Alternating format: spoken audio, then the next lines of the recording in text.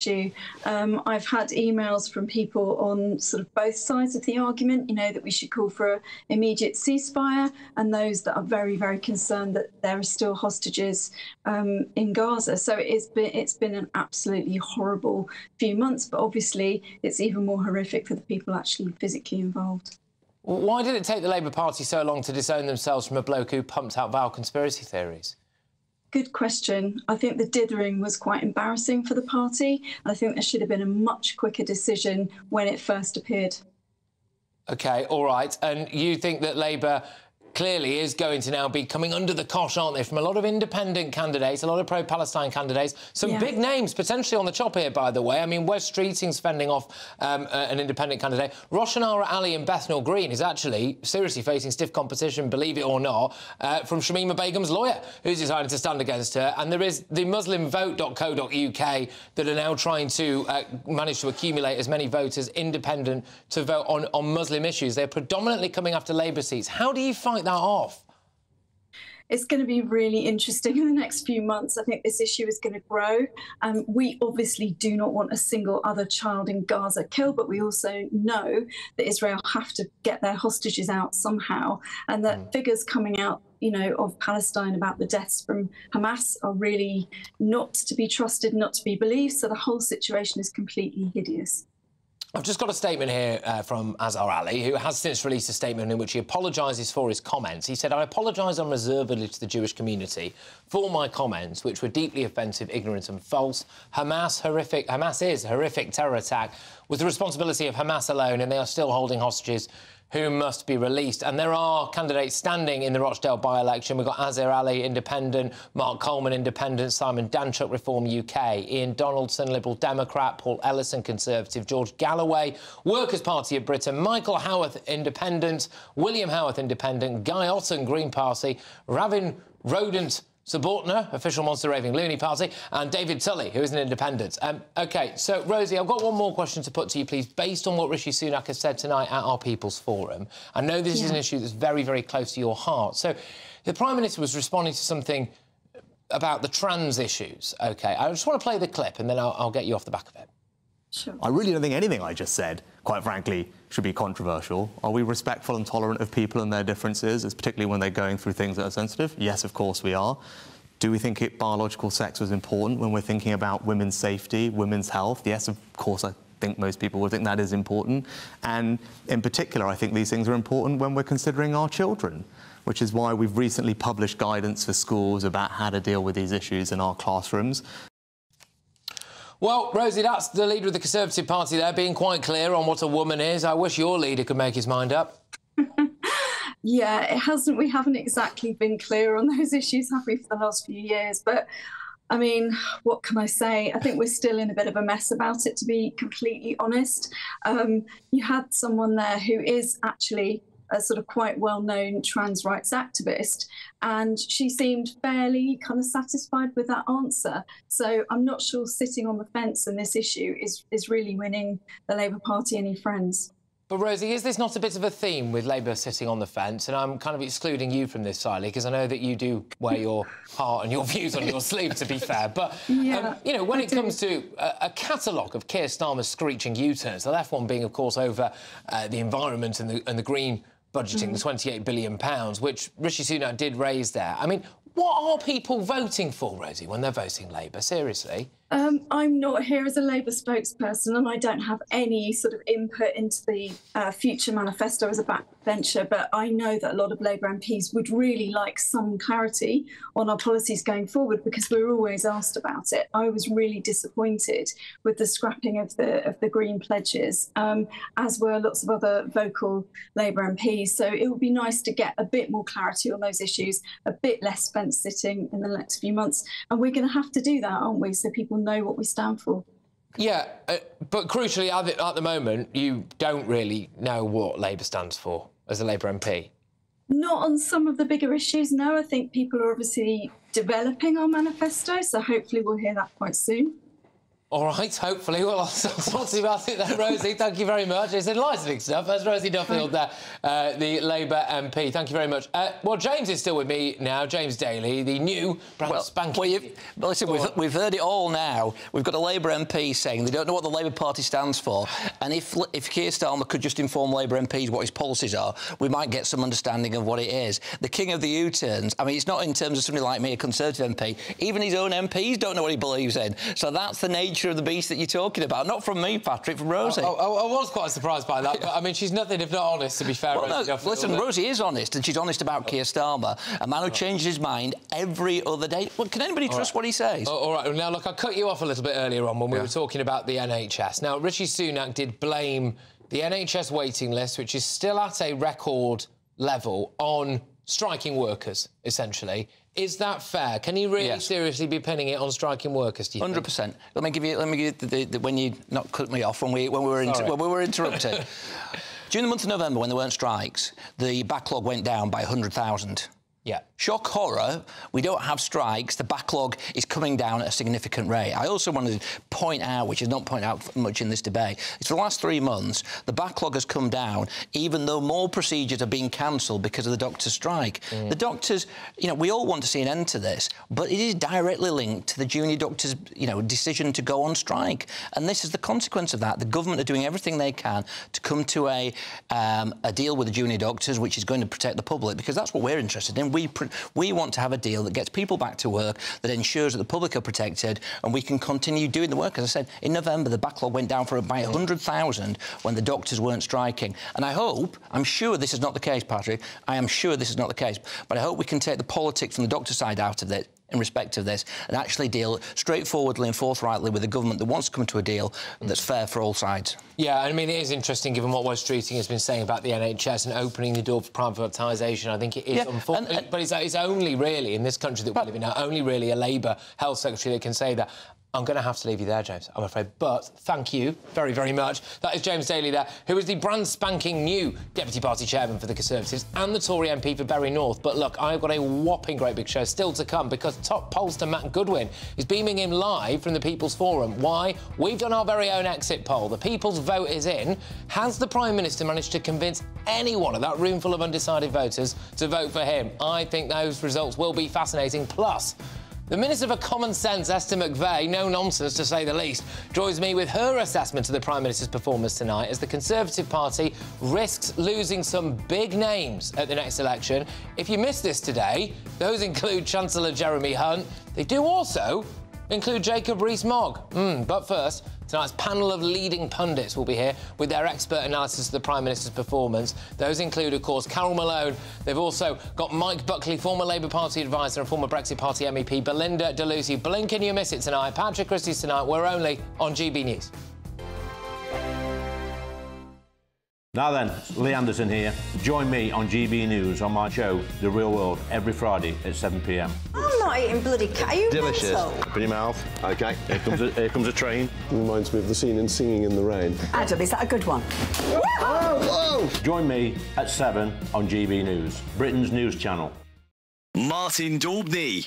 Weekdays from 3 p.m. Are they're trying to make it better or they're trying to make it slower, a lot slower? Slower enough, in fact, for it to sufficiently allow the boats to start coming in to cause further political damage to Rishi Sunak. Which it is will this? do if it carries Of course on. it will. And this is the Labour peers, the Lib Dem peers, and no doubt some of the Conservative wets, banding together, causing political damage to Rishi Sunak. And the, the longer it goes on, the worse it will be for the Conservative Party. There's now a deadline on the Rwanda plan. It's got to start working this summer summer to have any electoral benefit for Rishi Sunak because, of course, if the election is in November, by then the, the crossings will slow down. It's got to get got to be up and running by about May or June, and and then they'll take it from there. Cool. And you have a crumb of comfort for us. Rishi Sunak met a prime minister. Well, a crumb of comfort for, for those who want to stop the boat. Certainly, we'll, we'll get towards it.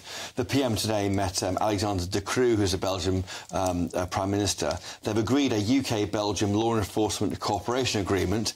In short, that is a focus on surveillance and information, uh, ultimately, which should help stop the boats. Not many boats make crossings from Belgium, but it's the kind of they can hopefully use law enforcement. These are the kind of deals which Sir Keir Starmer's talking about. If he becomes prime minister, he'll do more of these deals with um, with um, uh, countries on the continent, and this shows that the, the PM, the Tory PM, can do them too. And there may be um, intelligence sharing of crime gangs that operate Yes. within Belgium. As you say, it's a much, much further distance, much more perilous across the North Sea. Very unlikely that people will be leaving in any great numbers from Belgium.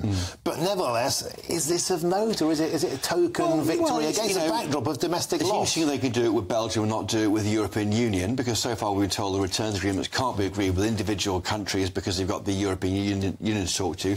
Maybe this deal can be mirrored with France and that might help with better cooperation because basically after Brexit we're a sovereign country. We, we have to work on some areas more closely with our, with our, our, our European neighbours. When the news happens, it happens here. And really important breaking news. Breaking news this morning. On TV, radio, and online, the news starts here on Britain's Newsroom. All the biggest stories and the answers that you need from across the UK and beyond. Join Britain's Newsroom from 9.30 on GB News. The People's Channel, Britain's news channel. Your weekend starts here with Friday Night Live with me, Mark Dolan, 8 till 9 on GB News. Big stories, big guests, and big laughs as we get you ready for a cracking weekend. That's Friday Night Live with Mark Dolan, Fridays 8 till 9 on GB News. Bring your own drinks, the admission's free. I'm Michelle Dewberry, and I'm not here to tell you what to think. I'd much rather hear what you have to say. So send in your opinions to gbviews at gbnews.com. Keep them clean, and you never know, I might read them out. With my panel here on Dewbs & Co, we debate, we get stuck into the issues of the day on a show where all views are welcome, especially yours. GB News, the People's Channel, Britain's news channel.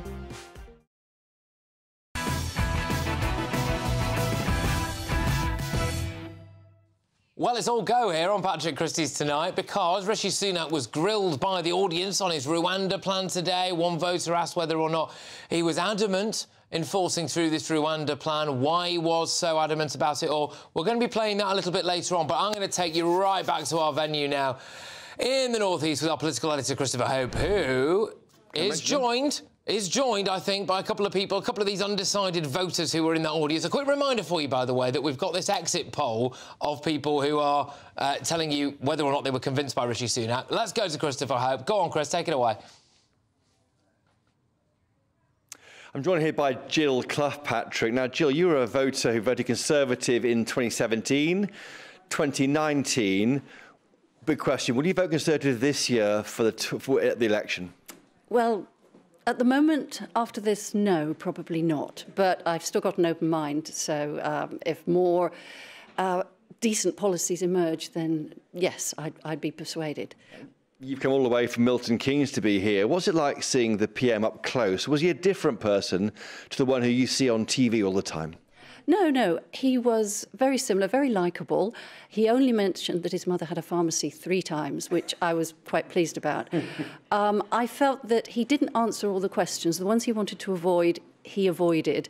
The one about the COVID vaccine was particularly shocking. I don't know if the cameras caught the two men who were talking about it. They had been so severely affected, and he just talked about the uh, vaccine um, compensation, which He seemed a bit stung by that. I mean, when, he, when that question was asked, the questioner left the room before he even answered his question. I'm not sure he's at all prepared for that question. No, no, he, he wasn't. You could see it on his face. Um, otherwise, you're going back to Milton Keynes tonight. A lot to think about. What do you What do you think? What does he need to do to win you over?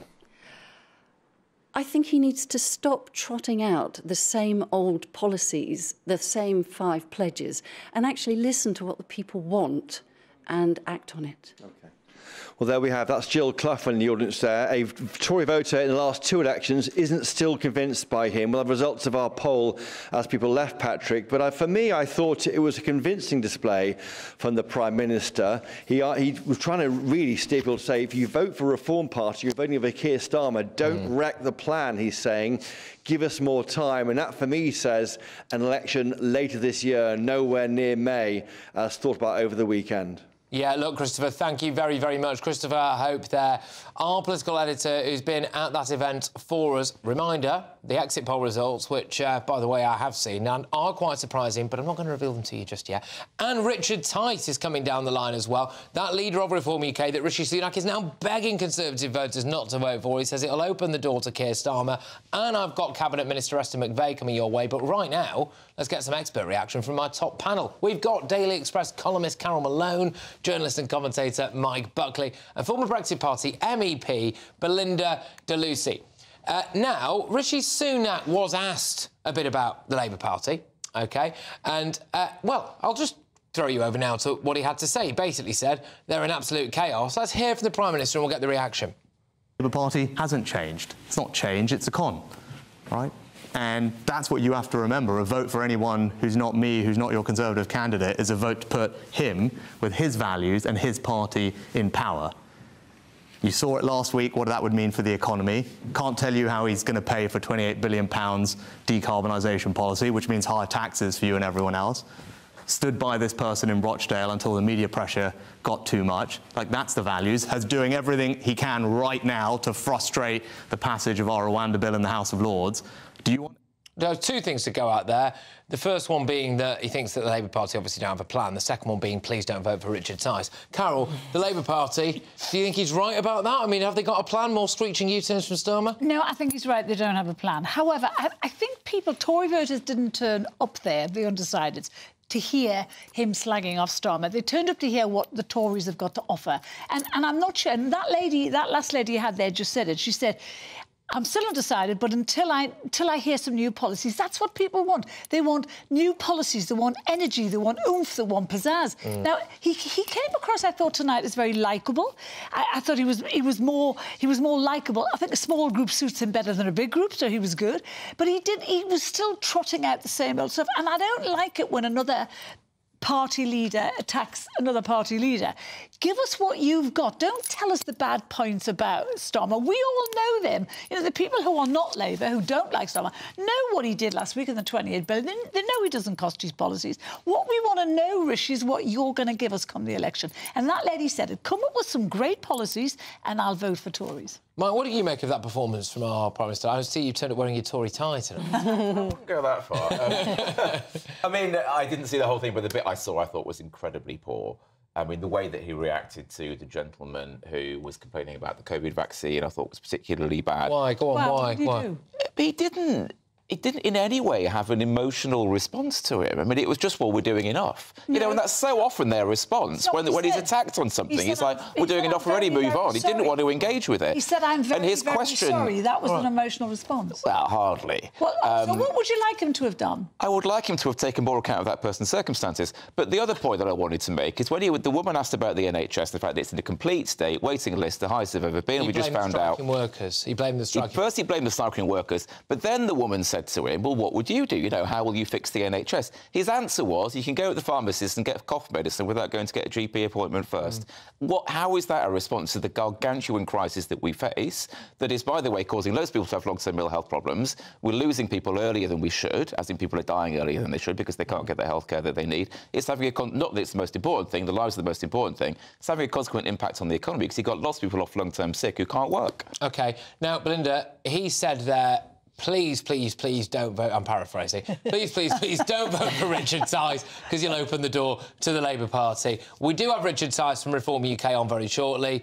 Do you think that anyone will listen to him and say don't? It's such a shame that the Conservative Party have resorted to this kind of threatening, uh, gosh, if you don't vote for us, then this is what you're going to get, rather than selling themselves. And the point is they can't sell themselves anymore because most of the promises and pledges they make to people, they can never get through because they've decided never to reset the civil service, who are always going to hinder any of their slightly right-wing policies anyway. Very weak, very timid. Reform UK offers such a, a larger democratic choice choice for the people. And why are the Tories scared of us? Why can't they sell themselves on their own policies? Because they know they can't push through things like lower immigration and stopping their stopping the boats. It's all waffle, Patrick, from, from Rishi. He's a very sweet, affable okay. guy, but it came, came across as the One usual of the policies waffle. that Rishi Sunak has absolutely staked his claim on is Rwanda, OK? Mm. And he was asked tonight about Rwanda. Here's what he said, and then I'll get your reaction.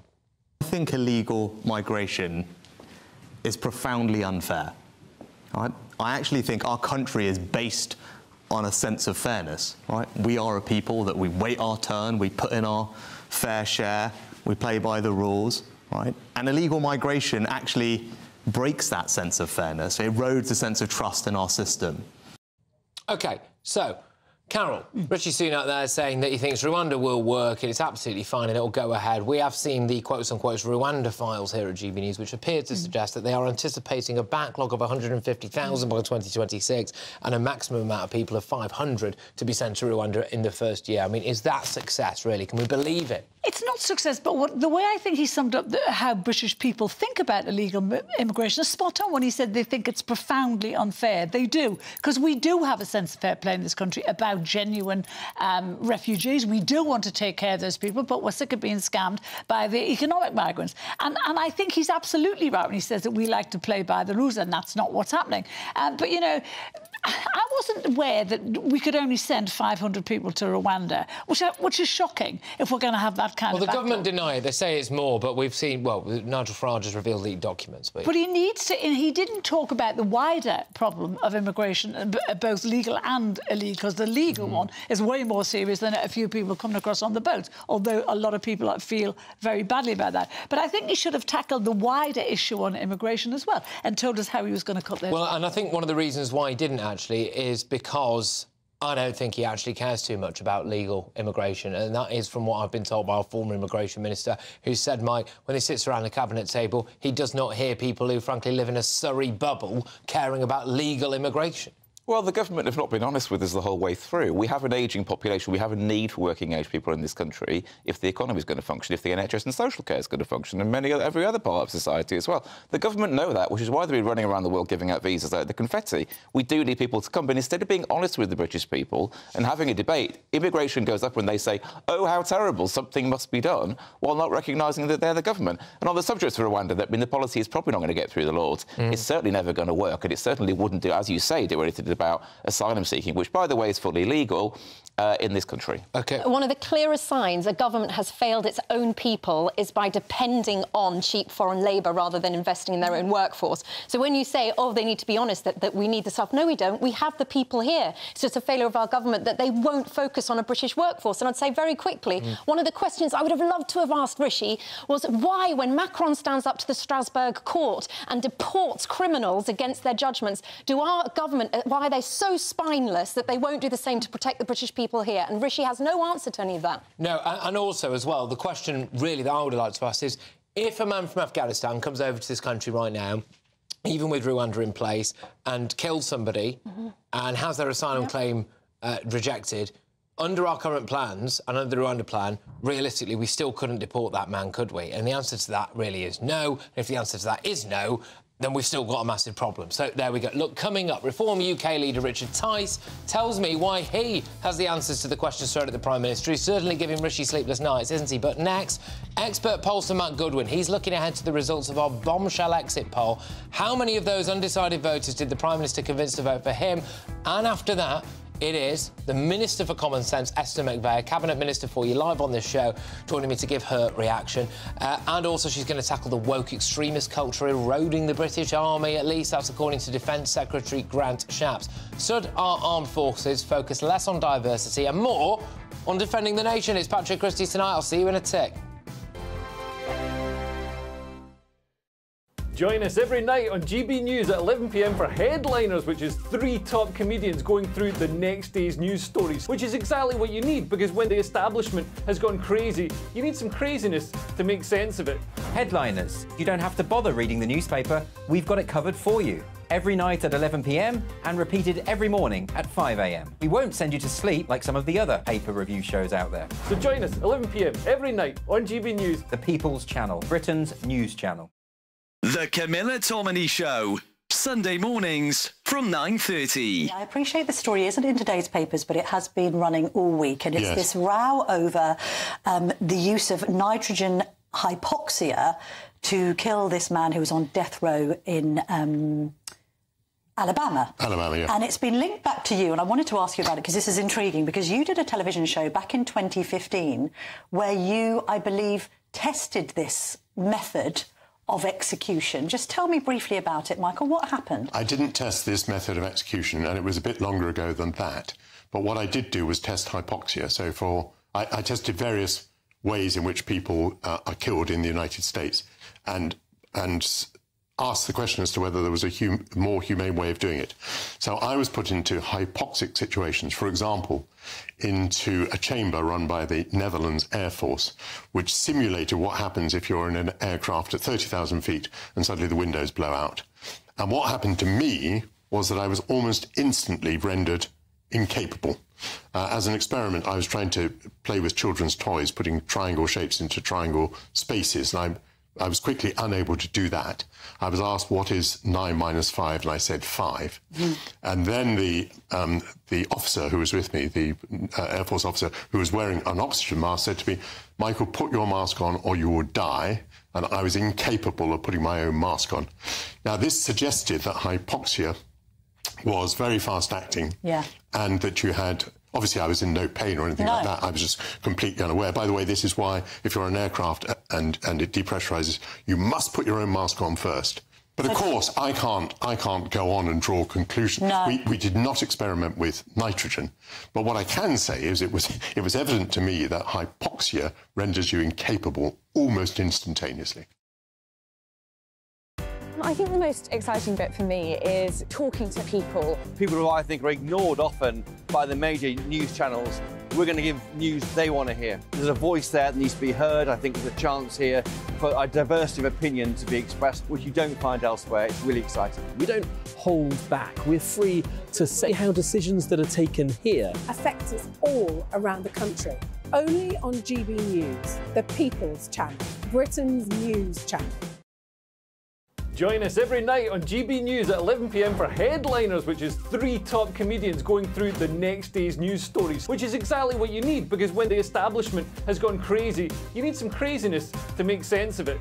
Headliners. You don't have to bother reading the newspaper, we've got it covered for you. Every night at 11pm and repeated every morning at 5am. We won't send you to sleep like some of the other paper review shows out there. So join us 11pm every night on GB News. The People's Channel, Britain's news channel.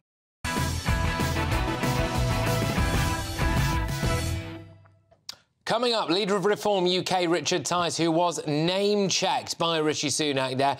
How would he have answered some of those questions that you, the wonderful people, put to our Prime Minister? But first, we've got more reaction now to the People's Forum with leading pollster Matt Goodwin. We will be releasing our exit poll results at 10. But did the Prime Minister manage to win anyone around in that audience of undecided voters? Sunak will certainly hope so. But the latest polls, official polls anyway, by Redfield and Wilton Strategy showed the Tories have slumped to their lowest rating since he became Prime Minister. Labour now have a 25 point lead. Matt Goodwin was in the audience there. Matt, did he do anything to convince voters for you? Well, I've got to say, Patrick, I was in the room uh, up here in uh, Darlington, and, and look, I'll be honest with you. To me, the Prime Minister sounded a little flat. He only got one laugh out of the audience. He's got two rounds of claps, but that came quite late on. He, he struck me more as a chancellor than a prime minister, if I'm honest. There wasn't much in the way of charisma. There wasn't a compelling story, a big vision to go to the country with. So I, I think probably his team will be leaving today thinking, you know, he did a competent job, but it wasn't a particularly compelling job. OK, just one more quick one with you, Matt, whilst I've got you. Before we go to those exit poll results at 10, um, another poll has been published today saying that the public think that Rishi Sunak cares less than the rest of his party about ordinary people. So they also think the Prime Minister cares less than other Tories about the NHS. He was asked a question about the NHS tonight, and he was meeting ordinary people. Do you think he's answered any of those things? On the NHS, it's always going to be difficult for Rishi Sunak. That, to be frank, Patrick, that is Labour's issue. The Conservatives is, are going to really struggle to win on that issue. So I, I think he, I think he knows that. You know, he talked about developing these bespoke clinics. He talked about investing in lots of things that people wouldn't currently be aware of. And he talked about trying to bring down the waiting list. And he accepted, you know, it's going to take over 10 years for some of these new consultants mm. to come through.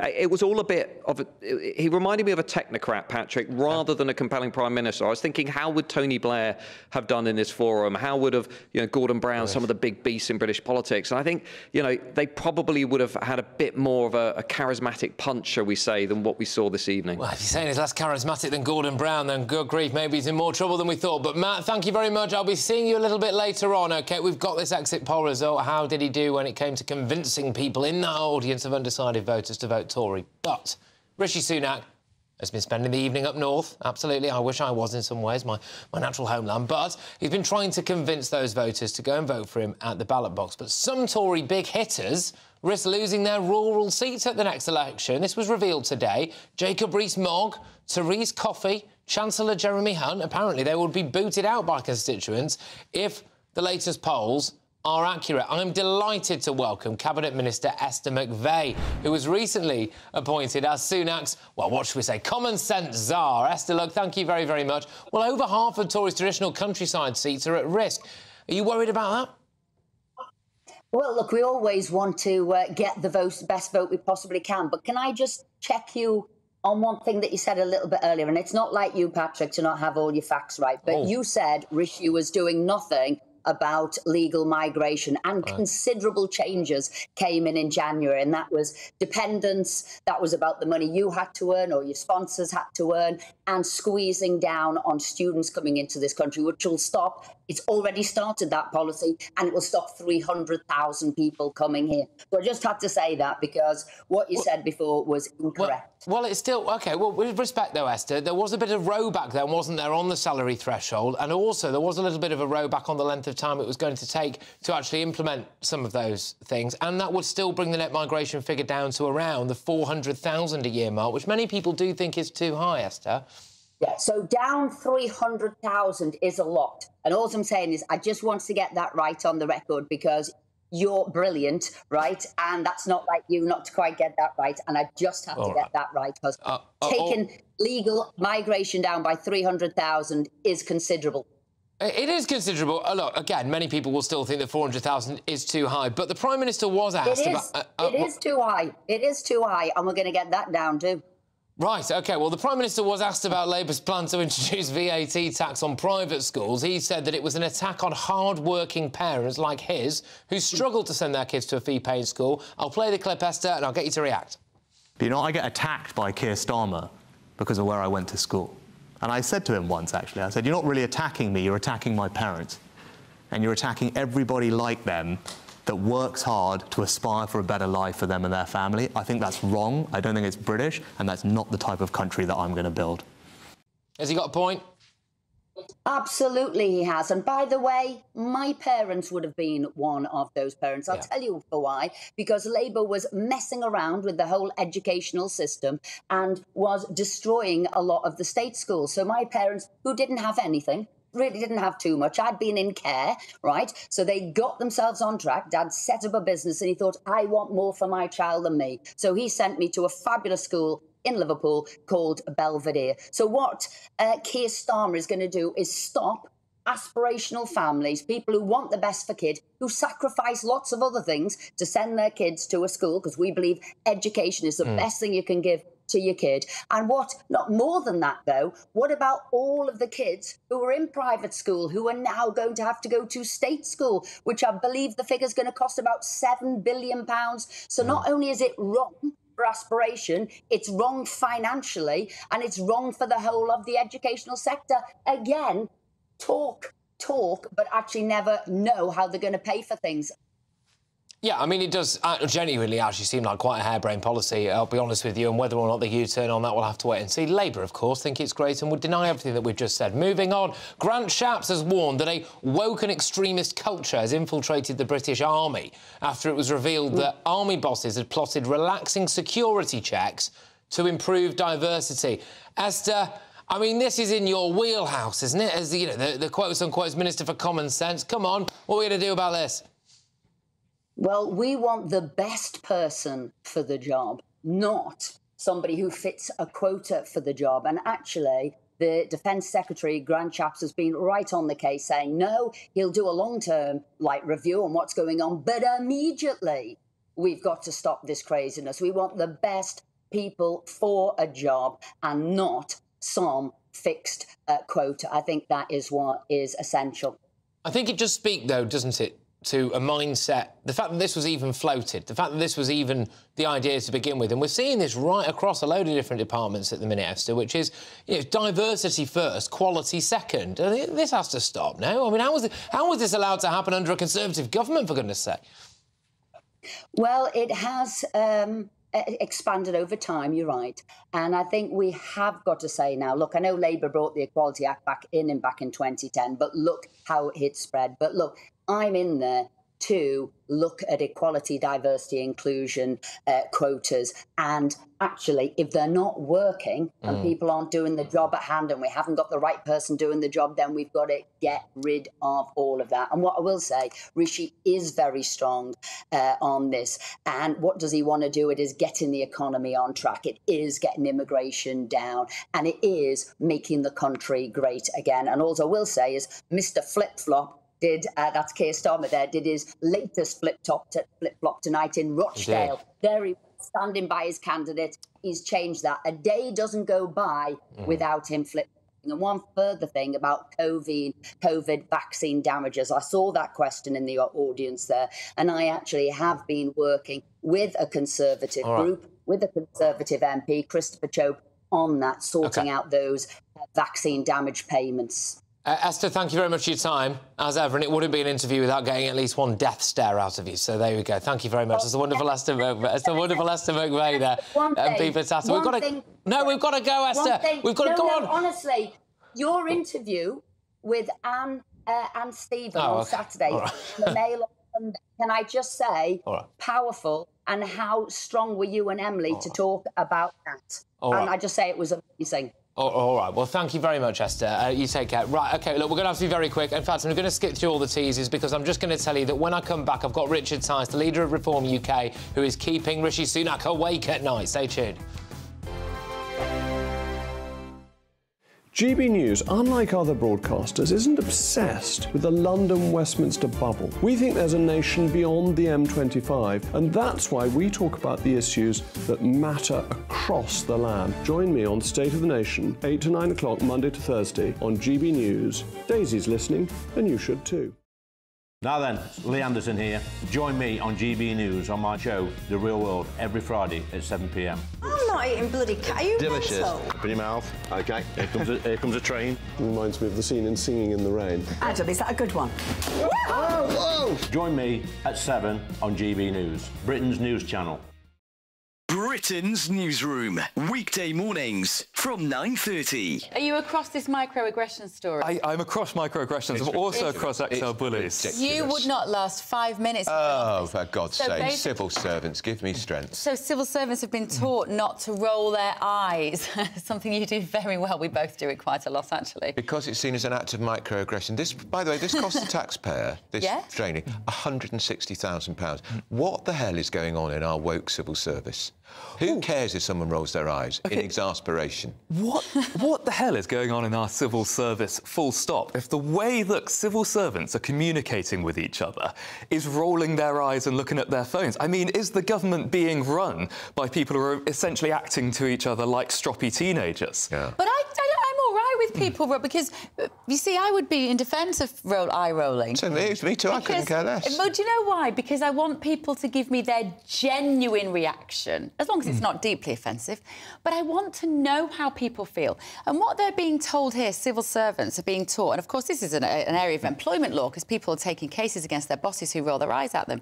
They're saying they're being encouraged um, to uh, say nothing and nod their heads to promote transparency and inclusion. Don't show what you really think, just nod your head. But I think that comes with then saying what you really think, and this is this is the key problem, and what these uh, what these courses are are trying to establish. And I looked into some of them uh, when I was uh, when I was researching this, and it's not saying hide what you're feeling. It's saying rather than huffing and puffing and rolling your eyes, if you've got a disagreement with someone, say I've got a disagreement with someone. But, because otherwise, you can't have an effective workplace if people are sort of just passively aggressively huffing at each why other. Why do these civil servants need to be taught this? why do people need to be taught this? This is just normal discourse in a normal mm. working day. You don't need a seminar on it. Good afternoon, Britain. Good afternoon, Britain. Join us, Tom and Emily, To find out what's happening in the heart of Westminster. and why it matters to you. Weekdays from midday, we bring you the most compelling stories from across the United Kingdom. And from your doorstep to our inbox. That's right, we want to hear from you. GB News, Britain's news channel.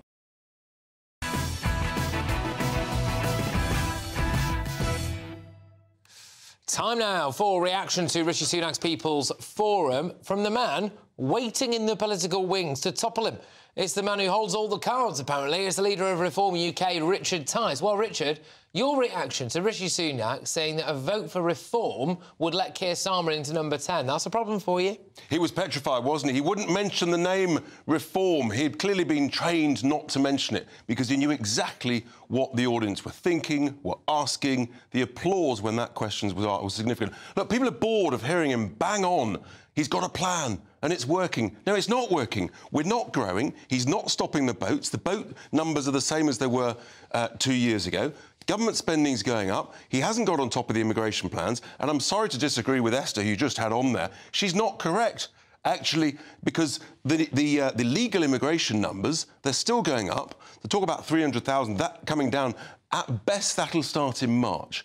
At best. So uh, Well, know, and, and- it still does mean, as she did concede, it still does mean net migration of about 400,000, which I think many people would regard as being far too high, to be fair. But with respect to, to, to Rishi Sunak, he was saying that the vote numbers are down. But they're not down. This month, they're exactly the same as two that, years ago. Your plan to bring them down is to turn the votes back. Absolutely, our plan. And, he wouldn't do it. He wouldn't commit to leaving the ECHR. And the only way we'll stop the boats is to pick them up safely and take them Mm. Yeah, back to France, you which we're legally do that? Yes, Will because we're legally entitled What to do it. What if people die? Uh, People are dying tragically. At the moment, the kind and compassionate thing to do is to pick people up and take them back. Remember, they're all picked up at the moment, Patrick, Hmm. by Border Force at the 12 mile point and brought to Dover. The only change is you turn back to France and take them there. And we know it works because it worked in Australia. are you not a bit worried about the idea of this turn the boats back policy? Someone dies in the channel and then people Patrick, say, blood on your hands. The blood is on the hands of the lawyers and the politicians who haven't got the guts to do my policy, which is why five people tragically have already died this year. Thousands are dying in the Med. You've got to have strong, courageous leadership. Do what Australia did, and that will sort this problem. I'm the only one who's brave enough to talk about it. The only, the only other um, thing that he said that I think is, is massively relevant to you was about the Rwanda plan. It all ties in a little bit with what we were just talking about there. He's saying that he's adamant that it's going to work. You, you don't think the Rwanda plan Look, the work? whole thing's a nonsense. He's wasted hundreds of millions of pounds on this ridiculous. It's not a deterrent. We know it's not a deterrent because already this year, 1,500 people have come across the channel in probably the worst month of the year, and they're dying. And people are prepared to put their lives at risk. So it's clearly not a deterrent. He's completely wrong, but he's got nothing else because he's not brave enough to do what the British people want him to do, which is to take people back to France. And it's only Reform UK that is courage enough to do that policy. I mean, he, he, he did talk there, didn't he, a, a, a bit about, you know, the fact that he thinks that uh, the deal with the French is good enough or what's happened with the returns agreement with Albania and, and that's what's... Mean, he has had some success. Lovely, warm, waffly words, but where's the results? Nowhere. The same numbers are coming across, Patrick. And whether it's. And, and go back to the lawful numbers. They put in the policy when he was Chancellor two years ago that meant that the lawful numbers exploded to one and a quarter million a year, a city the size of Birmingham. They caused the problem they're now trying to correct. Belatedly, too late. The British people are furious and have had enough, and that's why they're deserting them in droves. The, the, one of the questions, we're going to have to be quite tight here, one of the questions that really did fumble him a little bit was on the vaccine issue. Now, that is an issue that's, It's a that's, huge that's issue. haunted you a little bit because you were quite pro-vaccine, weren't you? Uh, I'm sorry. Uh, what I said was I was pro the choice. It's an individual choice. We were the first people to say you shouldn't be vaccinating young people or children. And here's the point.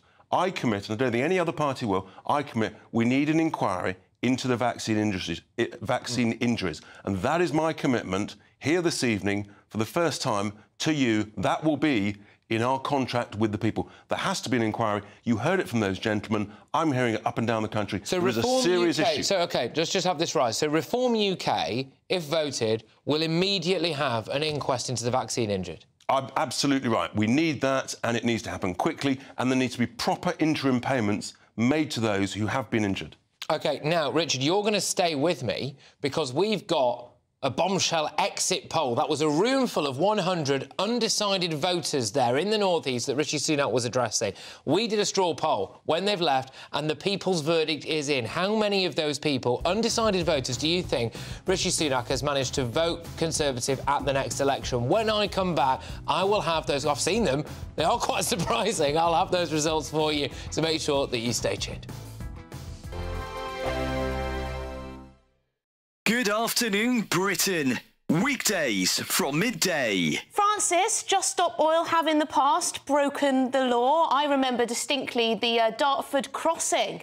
That ended up with two jailed, I believe, if I remember correctly. Is it ever justified in your view? Hi, yeah, thanks so much for having me on. I mean, I would, I would have to say yes. I mean, we're trying to preserve my life, your lives, the lives of your family, and it's not just the planet that we're trying to protect. It's the lives of, of millions of people. And you know, we know from history that we have to break the law in order to to put pressure on the government and to, to be listened to. No one would doubt your sincerity in your views. You genuinely believe in what you fight for. But there are others who think differently. For example, there are Islamist extremists who believe that people will go to hell unless they convert to Islam. They will sincerely, perhaps, break the law in order to force people to convert. In their view, they might be saving people's lives for eternity. There might be abortion activists who say that babies are being murdered and to save their lives, we need to break the law to stop people having abortions. Why do you get to say that your moral conviction is the one that's right and other people's individual moral conviction are those that are wrong? So, what's really integral to the Just Stop Oil campaign is the fact that it is a non violent campaign. That's what separates us from the examples that you've just given. We're absolutely dedicated non violence, both as a tactic and as a principle. So, though we might be breaking the law. If individuals take it upon themselves to break the law for whatever their course is, surely the way that we decide what society wants in general is democratic and within the law. Well, of course, we know also that protest is absolutely mm. integral to maintaining and upholding a democracy, and in, in particular, non-violent protest. I mean, I really can't express to you how severe this situation is, and I'm sure you know this.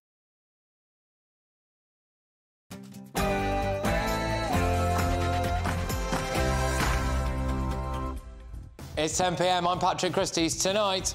Even though we're not out of the woods yet, at the start of this year, I believe that we have made progress and that we're heading in the right direction. The bombshell exit poll is in. Did Prime Minister Rishi Sunak convince anyone to vote for him after our People's Forum performance? Also, a Labour by election candidate makes a shocking Israel slur. Well, has the party now cleaned up its act, or is this more devastating news for Labour? Asylum seekers have literally been getting baptised in their droves. Just have a look at that if you're watching us on telly. When will the church respond to the latest scandal? And anger as double child killer Colin Pitchfork could be set free again. I've got all of tomorrow's newspaper front pages tonight for you with Express columnist Carole Malone, journalist Mike Buckley, and ex-Brexit Party MEP Belinda de Lucy. Heck of a lot for them to go out tonight, isn't it? Oh, and one school trip got more than they bargained for in their luggage hold. Yeah, I'll be revealing all shortly. Get ready, Britain. Here we go.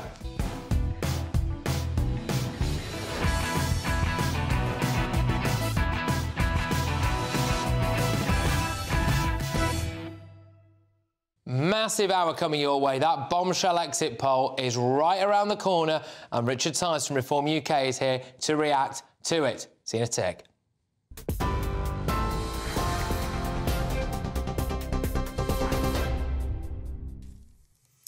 Patrick, thanks very much indeed, and good evening to you. The Prime Minister has defended the government's economic record during a live appearance on the GB News People's Forum tonight. Rishi Sunak told voters in North Yorkshire that the government's economic plan was starting to work. He answered unvetted questions on the economy, housing, education, tax, and the NHS, and even the COVID 19 vaccine. The Prime Minister told the People's Forum all the UK's economic indicators were heading heading in the right direction.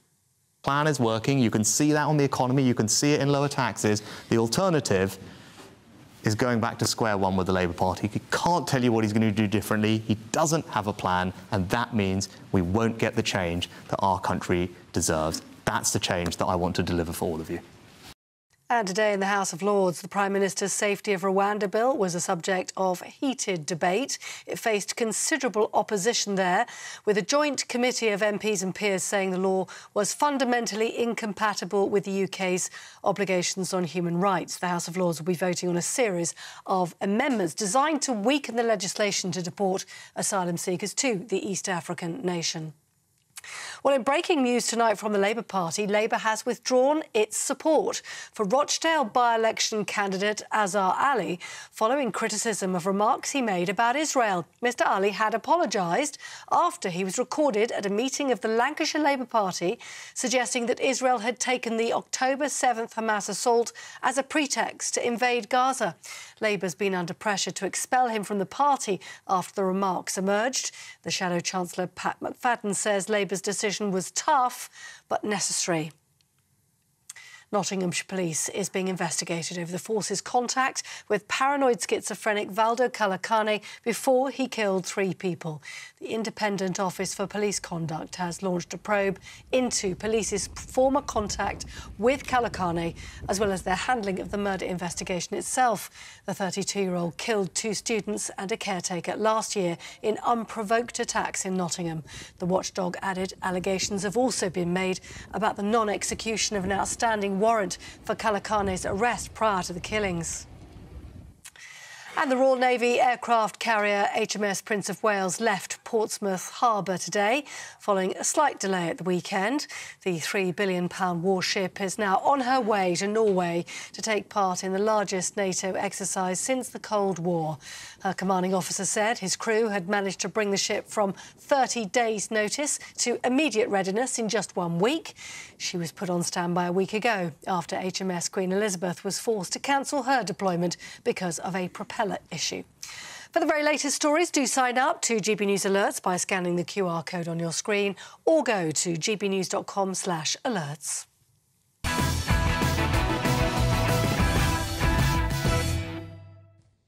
Now, Rishi Sunak has just spoken to a group of 100 people undecided on how they're going to vote at the next general election, and they didn't hold back. Hi, Rishi Sunak. I've got so much to say, but such little time. My name is John Watt, and I'm one of the COVID vaccine injured in this country.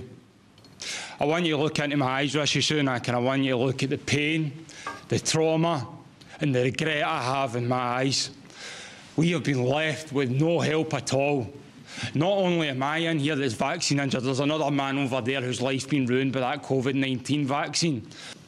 Why are the people who are in charge, who told us all to do the right thing, have left us all to rot and left me and the thousands and the tens of thousands in this country. So there is a vaccine compensation scheme that's in place, as you alluded to in the NHS. Obviously, everyone individually will work through their cases. It's difficult for me to comment on anyone's individual case, I'm sure. Very powerful moment, that. Very powerful. And in the last hour, the Prime Minister has come under criticism for how he responded to that unfortunate vaccine victim. Here's one of the big headlines from that fantastic GB News People's Forum. The Prime Minister admitted that there was more progress still to be made on the NHS. It's hardly a shock, is it? But said that progress hinged on the trade unions. We saw that it started to fall because we didn't have strikes for a period at the end of last year. And that has been a real challenge, and I'll just be honest with you about that. But in November, first month where we had absolutely no strikes in the NHS, do you know what? The waiting list fell by 100,000. Biggest one month fall in the waiting list in well over a decade outside of COVID. So that gives me the confidence that our plans can work and will work. The industrial action is something we need to work through. So the strikes are at least partly to blame for our NHS waiting list misery, says Sunak. I mean, he is right about that. The problem is that there were stonking great big waiting lists before the strikes as well. But the Prime Minister also hit out at Sir Keir Starmer and the Labour Party on the day that they finally dropped their by-election candidate for Rochdale, Azhar Ali, after he was accused of peddling anti-Semitic conspiracy theories. The party hasn't changed. It's not change, it's a con, right? And that's what you have to remember. A vote for anyone who's not me, who's not your Conservative candidate, is a vote to put him, with his values and his party, in power. You saw it last week, what that would mean for the economy. Can't tell you how he's going to pay for £28 billion decarbonisation policy, which means higher taxes for you and everyone else. Stood by this person in Rochdale until the media pressure got too much. Like, that's the values. Has doing everything he can right now to frustrate the passage of our Rwanda bill in the House of Lords. Do you want any of that? Strong stuff there. He thinks Labour's a con. He was actually responding to a question about the threat of Reform UK. According to recent polls, they are stealing votes off the Conservatives at a rapid rate. Richard Tice, the leader of Reform UK, is sitting just over there from me now to react to our exit poll. But did Sunak's performance tonight tame any of that rebellion? As I said, tonight's audience were all undecided voters. And here are the results now of our exit poll. 50% of them said they will vote Conservative at the next election. 14% said they will vote for another party. There we go, 36% are still undecided. Keep that on the screen there, 50%. 50% said they'd vote Tory, 14% said they'd vote for another party, and 36% remained undecided. So, well, Rishi's claiming that as a victory, isn't he?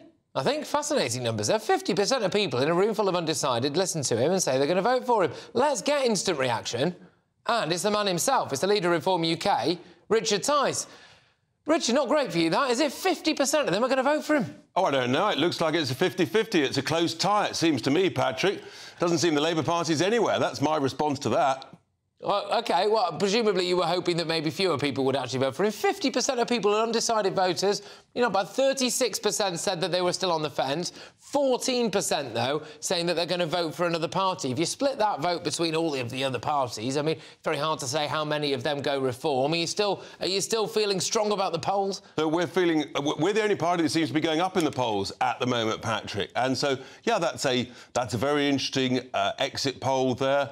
Uh, it does seem rather out of, uh, out of kilter with the 20, 22% that all of the other uh, average of polls is currently showing the Conservative Party. So time will tell. You know what polls are like. The one that counts, Patrick, is the one on uh, on election day. OK, all right. And, and, look, just on a couple of those key points, if people are just tuning in, that Rishi Sunak was grilled in right now, and there's 36% of people out of those 100 people in that room who were as yet and still are undecided about who to vote for. You know, he was making the point that you know, Rwanda is a good policy. He was making the point that you need to trust the Tories on the economy to, to get things right. And basically, if you vote for you, Richard, if they vote for reform, you get Keir Starmer. So go on, respond to that. Yeah, look, we keep hearing about this. He's absolutely petrified. You can't be rewarded for 14 years of failure for breaking the country. I mean, everybody says nothing works. We're paying ever higher taxes, nothing works. And so people are saying, actually, we've got to look elsewhere, and that's why we're going up in the polls. It, it's quite clear. That's why he's so petrified about even mentioning our name, because all his advisors are saying, watch out for reform. And, you know, we're, we're going to see what happens over the next coming weeks and months. OK, all right. Look, Richard, thank you very much, and thank you for uh, holding on the other side of that for those exit poll results. Um, let's get the thoughts now, shall we, of my wonderful panel this evening. And I do have Daily Express columnist Carole Malone, I've got journalist and commentator Mike Buckley, and I also have the former Brexit Party MEP Belinda de Lucy.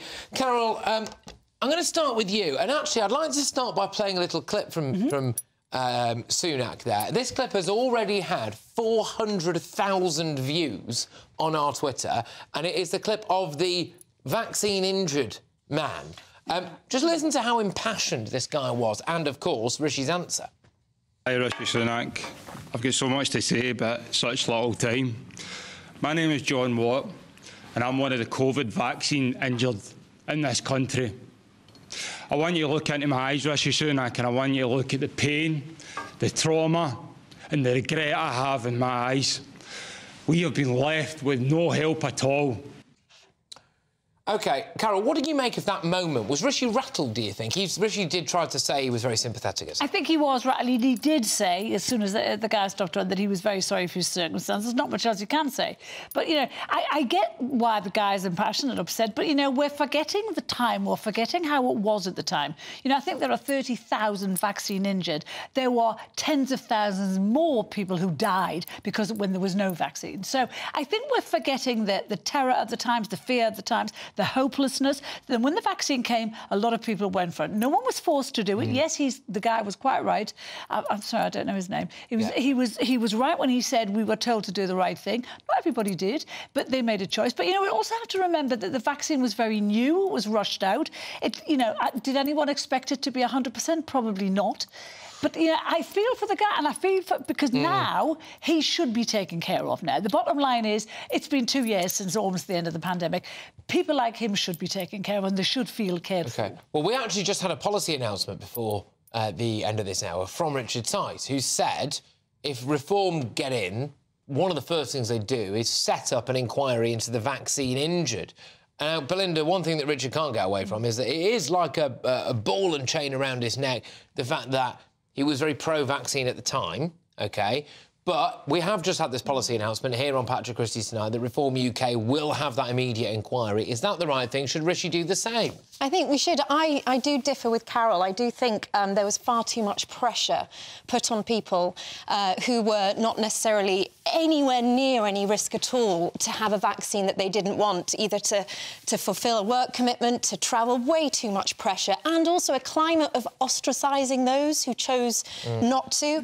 Um, and I think that was, that was deeply unfair, and they used fear to try and push the vaccine on young... My daughters, I mean, I, I didn't want my children to have the vaccine because they were not at risk. And I do think that there, there are questions around how much pressure and how people felt forced to have a vaccine that they didn't only not want but not necessarily need. I think it was good for old people and vulnerable people, but I do think there should be investigation how that climate of fear and pressure was, but was put on people. you're talking in hindsight now, Belinda. I, I, said it at the time, Carole. Yeah. I said it well, at the time. Well maybe, but there's a lot, but a lot of people are talking in hindsight now about now because of what we know. At the time, there was national panic. no, I, I, wasn't. I no, I tweeted panic. many, many times times about there being far too much pressure but, put on those. But we didn't know enough. That's the point. No one knew enough, not even the government. All right, I, I just want to move it on slightly now. Um, we've got another clip, and I'll go to you on this first, Mike. But we've got another clip now. The Prime Minister's response to a question about the issue of trans. I really don't think anything I just said, quite frankly, should be controversial. Are we respectful and tolerant of people and their differences, particularly when they're going through things that are sensitive? Yes, of course we are. Do we think it, biological sex was important when we're thinking about women's safety, women's health? Yes, of course, I think most people would think that is important. And in particular, I think these things are important when we're considering our children, which is why we've recently published guidance for schools about how to deal with these issues in our classrooms. Mike, this is one area where the Tories do absolutely beat Labour hands down, isn't it, being able to tell you what a woman is? Labour knows exactly what a woman is, as does Keir Starmer. I mean, I think sometimes you have these moments. true, Mike. It just won't. Sometimes, sometimes you have these moments when you learn something about who somebody is. And I think last week, when Rishi Sunak was attacking Keir Starmer over his uh, policy on this and his views on this, when Brianna Ghey's um, uh, might be mispronouncing the surname That's there, right. sorry. Jai, yeah. Jai, sorry, yeah. Brianna Ghey's uh, mother was sat in the um, gallery in the House of Commons and, and obviously, this is a woman who's just lost her teenager um, to a brutal murder, and that's you know just been decided and so on. Um, the inhumanity of it, oh, I just nonsense. find is mm. absolutely staggering. People I, I think the vast majority of people in that this was country, distorted. You're distorting the fact. I'm not people distorting anything. this said, woman has lost her child. She was sat in the gallery. Yeah, yeah and the, Rishi Sunak knew that, and he still attacks Parliament that community. Is a place for now, business. whatever you think about the trans community, that was completely unconscionable. Starmer attacked Rishi first about his I think decision. a lot of people will have made so up their mind about Rishi Sunak in that moment, thinking that he's going to attack the mother of a murdered Starmer Starmer, yeah, I would say, I would say Starmer used that that, mm. that poor lady. No, he didn't. He weaponised yes, her. He completely used her. Mike, can I ask you a quick question? If someone, say, a, a, a Muslim was violently attacked because he was Muslim and that's a hate crime, does that mean we all have to start believing in Islam?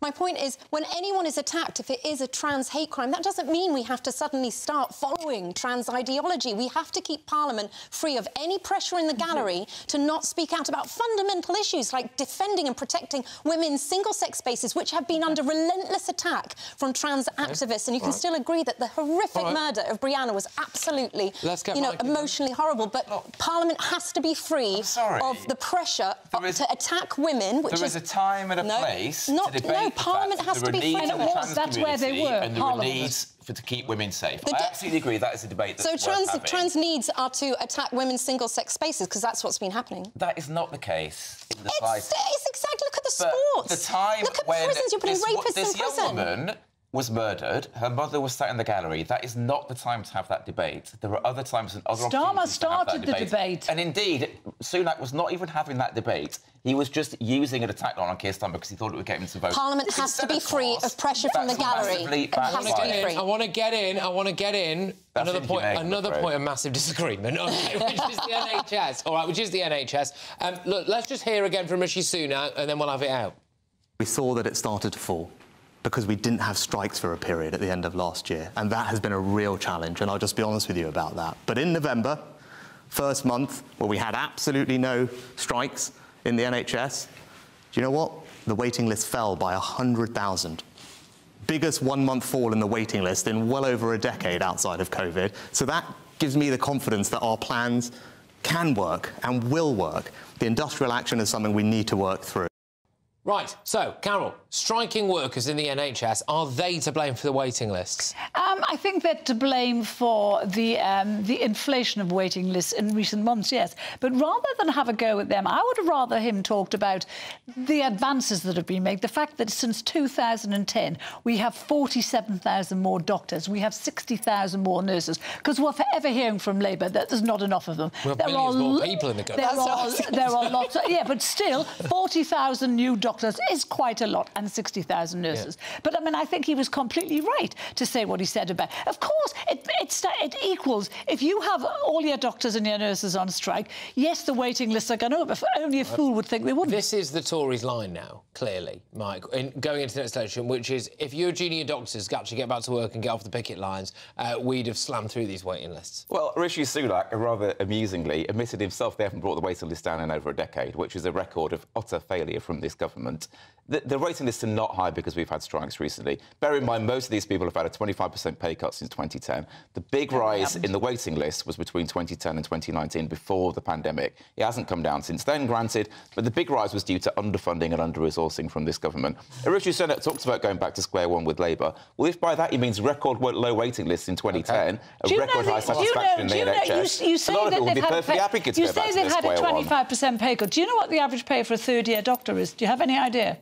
Off the top of my head, no, I don't. Of course you don't, because you just you just well, talk. What is it? It's 65 grand, which I don't think means they're on the vote. But it's still backside. been a second, massively a cut since 2010. gets 45 grand. No, no, that's the but figures junior that the doctors are earning less than people who are only working you in know Pret A Manger. Do you know what's interesting? Do you know what's interesting? No one is ever held to account in the NHS ever. It's no. got enough money. Don't take one single penny is, more from the taxpayer. It's got it's wastage, wastage, wastage, and no one's held account. That needs to be changed in the NHS. People have got long-term Because your lefties keep striking. We just found yes. out today right. that 1.5 million people in the last year were waiting over 12 hours in A&E. Which is awful. It's, it's so, yeah, so that's management. You're saying there, well, let's see nothing about no, it. No, I'm saying Why it's don't we do something about yeah, it? Yeah, let's stop the strikes, the election, mismanage... They will do something let's about it. Let's wait and see, yeah? Oh, my gosh.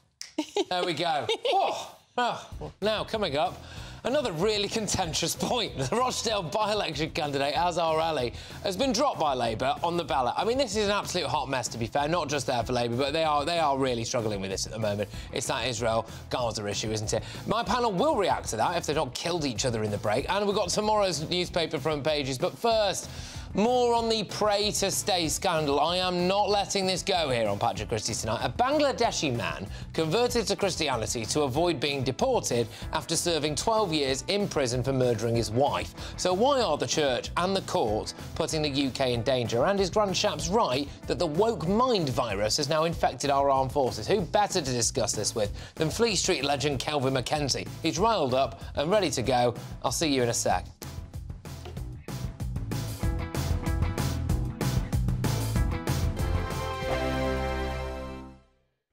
2024, a battleground year. The year the nation decides. As the parties gear up their campaigns for the next general election. Who will be left standing when the British people make one of the biggest decisions of their lives? Who will rise? And who will fall? Let's find out together. For every moment, the highs, the lows, the twists and turns. We'll be with you for every step of this journey. In 2024, GB News is Britain's election channel. Martin Daubney. Weekdays from 3 p.m.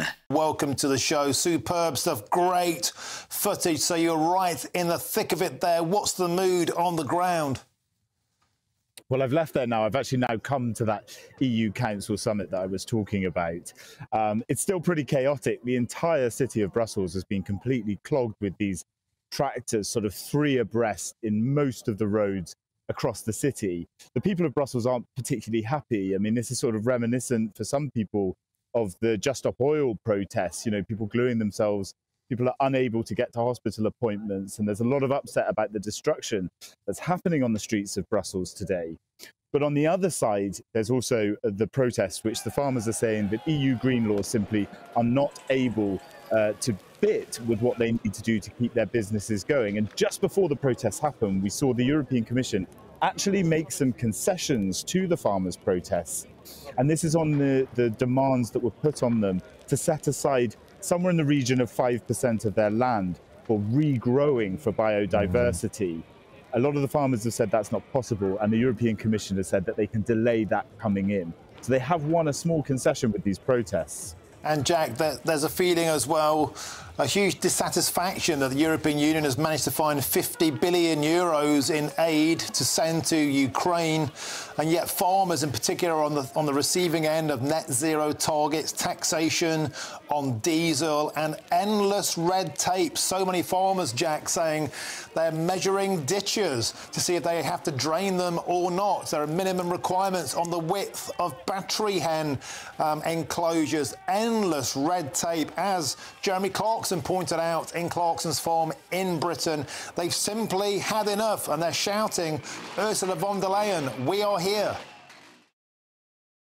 I think the most exciting bit for me is talking to people. People who I think are ignored often by the major news channels. We're going to give news they want to hear. There's a voice there that needs to be heard. I think there's a chance here for a diversity of opinion to be expressed, which you don't find elsewhere. It's really exciting. We don't hold back. We're free to say how decisions that are taken here affect us all around the country. Only on GB News, the People's Channel, Britain's news channel. Join us every night on GB News at 11pm for Headliners, which is three top comedians going through the next day's news stories, which is exactly what you need because when the establishment has gone crazy, you need some craziness to make sense of it. Headliners. You don't have to bother reading the newspaper, we've got it covered for you. Every night at 11pm and repeated every morning at 5am. We won't send you to sleep like some of the other paper review shows out there. So join us 11pm every night on GB News. The People's Channel, Britain's news channel.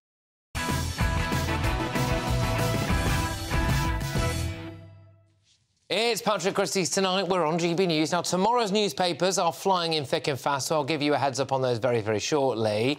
Um, but uh, details are emerging of the horrifying number of foreign criminals claiming to be Christian in order to escape deportation. Indeed, a Bangladeshi man who served 12 years behind bars for murdering his wife successfully appealed against the Home Office's attempts to deport him because he claimed he was a Christian. A judge ruled that he would be at risk in his predominantly Muslim country in Bangladesh.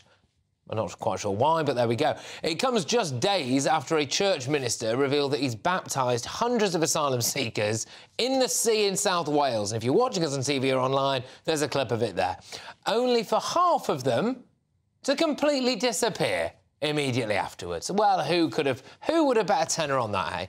Speaking last week, a spokesperson for the Church of England said the Abdul Ezedi case, this is the um, uh, Clapham acid attack, alleged.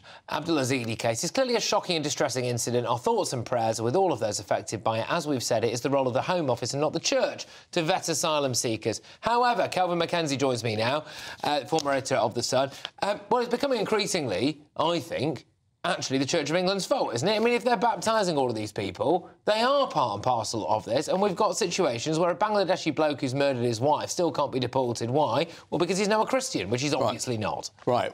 So he's not a Christian, and even if he were a Christian, he has murdered his wife. He is Bangladeshi. I honestly don't care what happens to him back in his homeland, mm. right?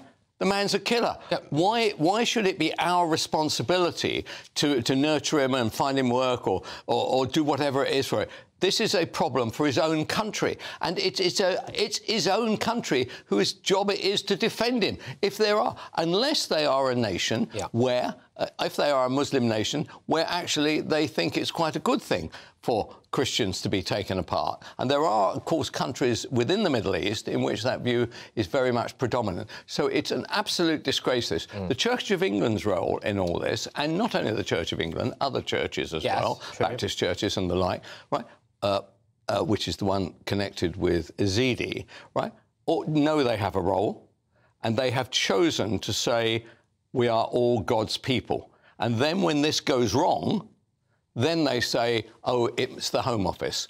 I'm afraid they are led by the Archbishop of Canterbury, who stands up constantly and says, boat people, come on over. And on that basis, if they want preferment within the Church of England, then the way to get it is obviously to baptise people. Should victims of asylum seekers who've converted to Christianity and then gone on to commit crimes and where they've used their conversion to Christianity as the basis to stay in the country be able to sue Justin Welby? Well, that is a very good idea, and I think they should definitely.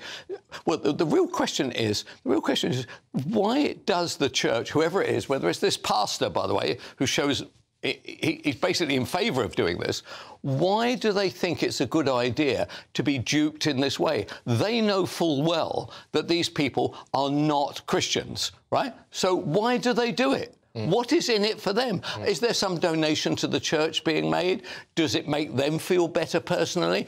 These questions have to be answered. And I would be grateful if somebody would pass a law which basically said mm. you have to actually face some strict. I mean, there was one judge pointed out to another judge that actually, how on earth could that person be, con, uh, be converted when in fact he'd only been in the country five weeks and hadn't mentioned it on his arrival? Yeah. So in five weeks, he went from Islam to the good well, Lord. And the conveyor belt is being exposed. So what we have now, and this is according to testimony of people within the church, was uh, Muslim men at the back of the church with wads of cash in their pocket, a ready army of people waiting to be baptised, then photographs going immediately on Facebook, and then, shock horror, hours later, phone calls from immigration lawyers asking that vicar or that priest or whoever to go on record and vouch for that person being a Christian now. So, so you conveyor belt, right? So the conveyor belt is it led by the is it led by well, lefty lawyers? As the core, it's the, it's the lawyers, but it's everyone involved, isn't it? Isn't it? But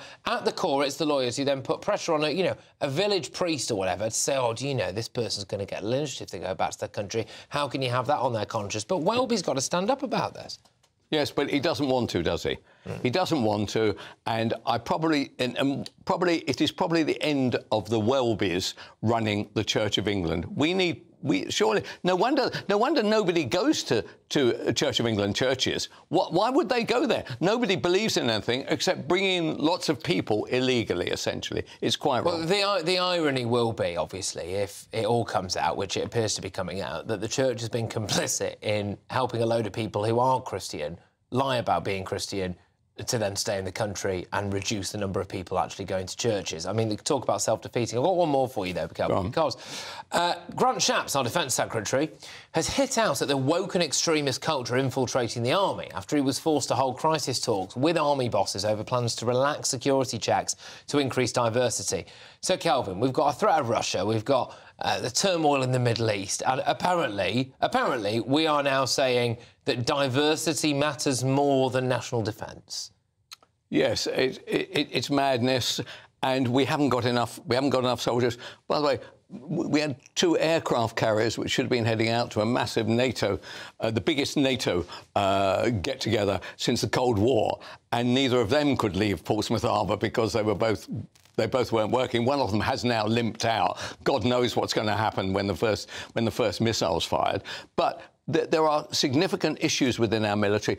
Surely we have to believe that we are not going to face an issue where a say a major says to a subaltern.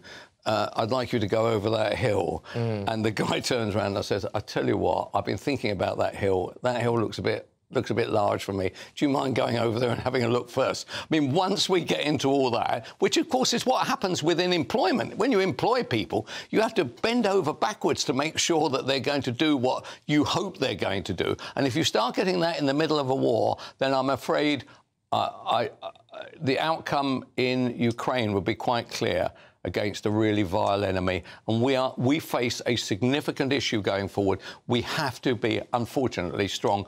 And I don't like using the word woke, but everybody has to be on the same page on this. Yeah. Yeah, we, we realistically, we've played fast and loose with a lot of institutions when it comes to putting diversity, inclusion, and equality at the top of the agenda, as opposed to saying what is your actual job and what function needs to be served here. I think the military is one area where uh, absolutely that cannot happen, but it has happened. Right, and it can't happen in the police force either, can it? That's true. That, that, well, it shouldn't really be happening anywhere, should it? I mean, healthcare, I mean, actually, the more you think about it, the more it shouldn't really be happening anywhere, to be fair. But, uh, Kelvin, thank you very much. I have been speaking to an MOD spokesperson who said this. Our priority is protecting the national security of the United Kingdom and ensuring the operational effectiveness of our armed forces. We take security extremely seriously. You bloody hope so, would you, the Ministry of Defence? Take security extremely seriously and ensure that all personnel have the appropriate security clearance, which is reviewed on a case-by-case basis. Brilliant. Thank you very much, Ministry of Defence. Coming up, forget the small boats crisis. Kids in Southampton have been dealing with their own school coach crisis as they discovered suspected migrants hiding in the luggage hold of their bus that had been ferried back from France. Good grief, can you imagine? Also, by the way, one of those migrants did something incredibly naughty in a girl's school case, but I will tell you all about that later. More details on that next, and I will bring you all of tomorrow's newspaper front pages today. Plus, we have the latest on Labour dropping the Rochdale by-election candidate Azhar Ali. This is massive for the Labour Party. We've been calling the shots on this early doors here on Patrick Christys Tonight. Labour has a massive problem when it comes to Palestine. More on this shortly. It's Patrick Christys Tonight. We're only on GB News. Now then, Lee Anderson here. Join me on GB News on my show, The Real World, every Friday at 7 pm. I'm not eating bloody cat. Are you Delicious. mental? Open your mouth. OK, here comes a, here comes a train. Reminds me of the scene in Singing in the Rain. Adam, is that a good one? Join me at 7 on GB News, Britain's news channel. GB News Breakfast. Every day from 6 a.m. Marnie says being sexy in business is entirely possible and maybe even better. Well, Marnie, this is something I say is true. I've had to live with this for quite a long time, and uh, I think you can. I think you can do both. Now, tell me, it's lovely to see you first of all. Thank you for having me. In all your gorgeousness. Um, and you're telling me that that often is regarded as something derogatory or something to hold you back. Is that right? It's just this really unfair thing, this really unfair narrative that women can't do both. Even men can do it, as you know, Eamonn. You can do it. You can do it all. Um, and I just think, you know. Women are so multifaceted. They can be mothers, they can be sexy, they can be businesswomen, they can be silly, they can be all these different dimensions. And this, this press push that we have to Yes. limit ourselves to one category, Yeah. it's just unfair. But do you think that is where some people may be wrong-footed or go wrong to underestimate you? Exactly. There is that saying disarm with charm. So, you mm. know, that there is that, that idea that people do look at someone who cares about how they look, who's perhaps a bit feminine, uh, and underestimate them. But hopefully I've proved that wasn't the case in the boardroom. And thank goodness for Karren Brady. She's definitely up the glam stakes on the show. And if anybody can prove that you can be sexy and successful in business, I suppose it's her, really. But where do you think most of the criticism comes from? Because I have to say, hard to believe, but when I was younger, I certainly got a bit of this at my old employer, being told that I had to dress a certain way, not to be too sexy, which I found hugely. I would just point out you were told this by women. I was told this by a female boss who didn't like me wearing zips on the back of my dress. Not just me, but some of the other presenters there. And I took such offence. I felt like she thought that I was some sort of I don't know what. Um, Yeah. do, do you take offence when people are criticising you that, you know, in some way they think you're, I don't know. There's just no right answer. And as we said, I think Karren Brady is doing an excellent job at leading the charge that you can be glamorous and get the job done. GB News, unlike other broadcasters, isn't obsessed with the London Westminster bubble. We think there's a nation beyond the M25, and that's why we talk about the issues that matter across the land. Join me on State of the Nation, 8 to 9 o'clock, Monday to Thursday, on GB News. Daisy's listening, and you should too. Wake up to the headlines with headliners every morning at 5 a.m. We treat you to the day's biggest stories before anyone else, seven days a week. You can catch up on everything you need to know before you've even had your kippers. Mmm. Headliners every morning at 5 a.m. only on GB News, the People's Channel, Britain's news channel.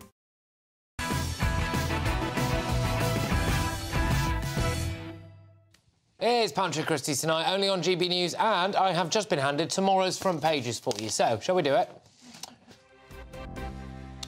Let's go in with the Metro. Playing field ideology. Schools contract scandal exposed. So, £30,000 grass cutting cost, even in winter, means head skimps on staff. OK, all right. Well, we'll probably have to read a bit more that to realise why the heck that's on a front page. But anyway, The Sun.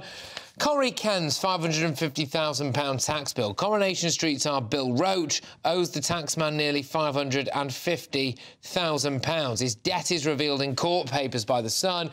Uh, there's also some stuff about Beyonce and Taylor Swift. Why not? The Daily Mail.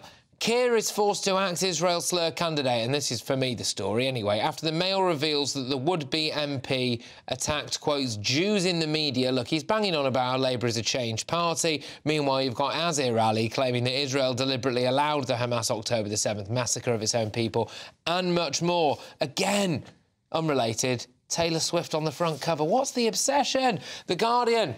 Labour cuts ties with Rochdale candidate over Israel. Comments. Party activists told to stop campaigning for Azhar Ali. Also a picture there of Israeli hostages, I believe, being released after uh, a new Israel offensive in Rafah. OK, all right, look, so heck of a lot for us to go out there. Uh, here with me on my show tonight, I've got my wonderful panel, my press pack is Daily Express columnist Carole Malone, who's laughing at something.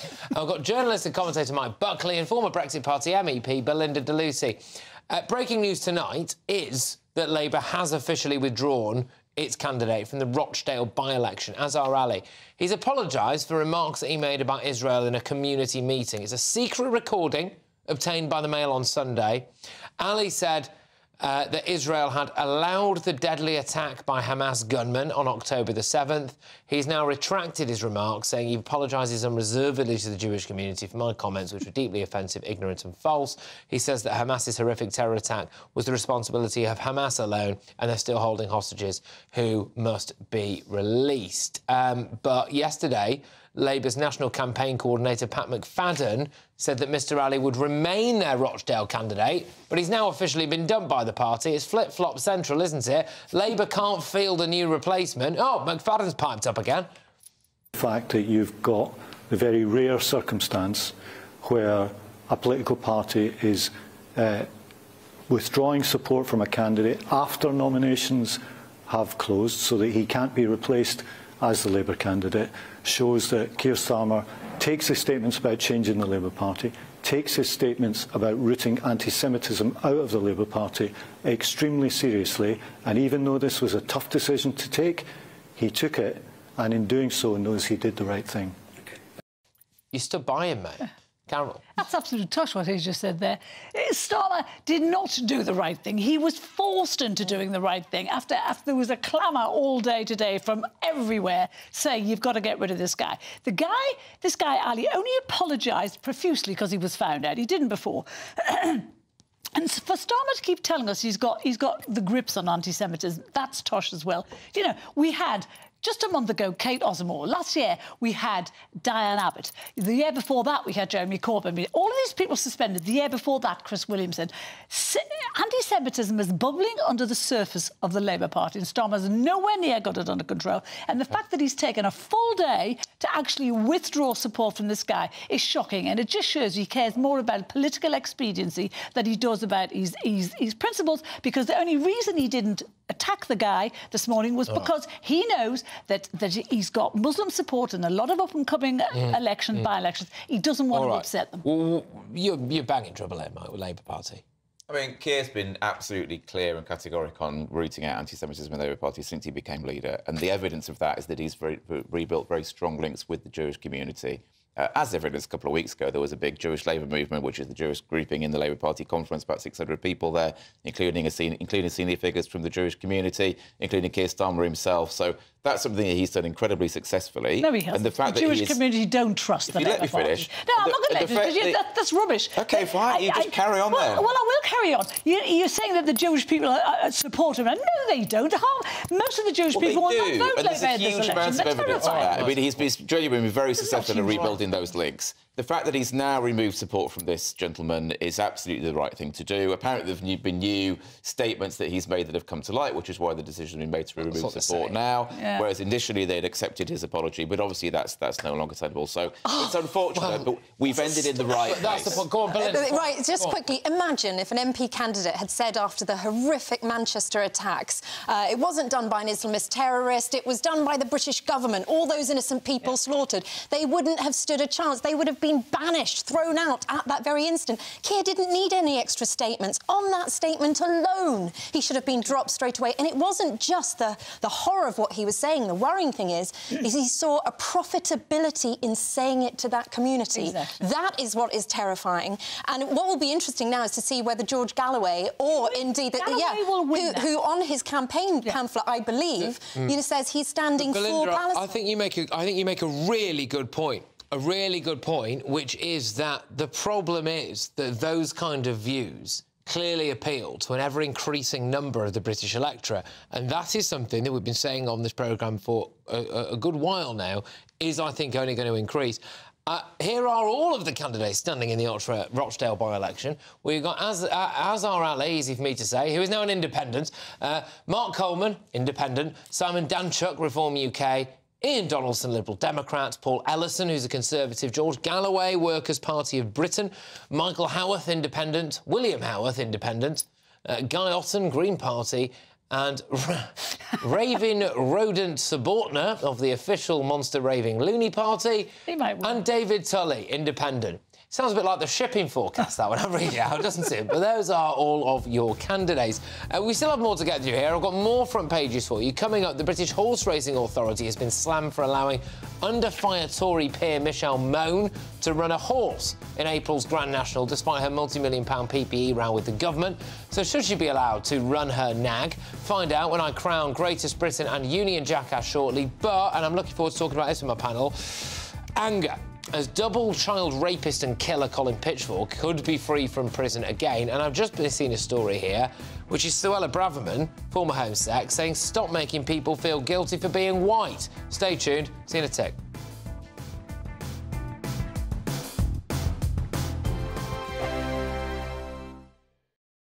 Britain's newsroom, weekday mornings from 9:30. When you listen to Nigel Farage's assessment there, do you feel that maybe this is as good as it was going to get, given that we had the pandemic and uh, it was inevitably always going to be a bit of a mixed bag?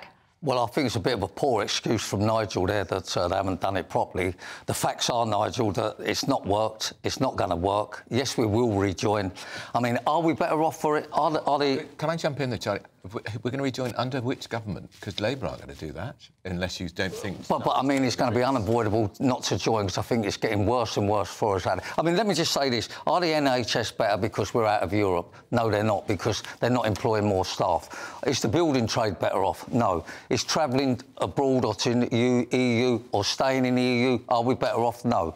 Are we better off because foods rise because of the EU? No. Are- are we better off with imports and export? No, because they're taking longer. The overall result is that we're not better off. The killer point here is 57% of the public will now vote to remain. 33% would leave. Surely that's the telling point. It depends on the pollster, Charlie, because we were talking to a very good pollster earlier who said there's no enthusiasm for any change in a year. Maybe 10 years, they might be thinking about it. Belinda de Lucy, let's Yeah. bring you in. I'm sure you want to react to what Charlie said. I mean, who would have thought that the UK wanting to run its own affairs and making our politicians more accountable would be so revolutionary. The EU Parliament voted a majority to get rid of the vetoes, the last remaining scraps of democracy that the EU had. Now, luckily uh, for, for EU citizens at the moment, you know, it means an, a treaty change to actually go forward. But that, that is the mood. The ever closer union. We have dodged a federalized globalist, international, power gobbling, anti democratic organization. And that's worth more than a few trade and travel perks with, for a few wealthy people in this country. Here, here. Belinda de Lucy, Charlie Mullins, great to see you both.